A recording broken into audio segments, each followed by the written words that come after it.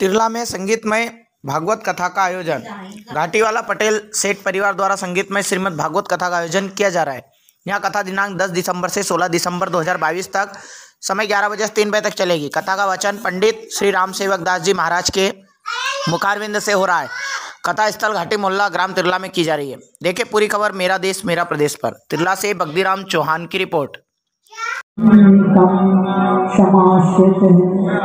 कि ये भागवत कथा सभी फलों को देने वाली है।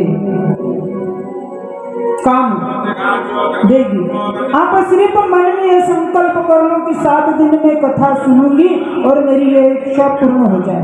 ये एक अलग बात है, किसी किसी की इन सात दिनों के मध्य भी पहले भी हो सकती है या बाद भी हो सकती है। मन होगी ज़रूर।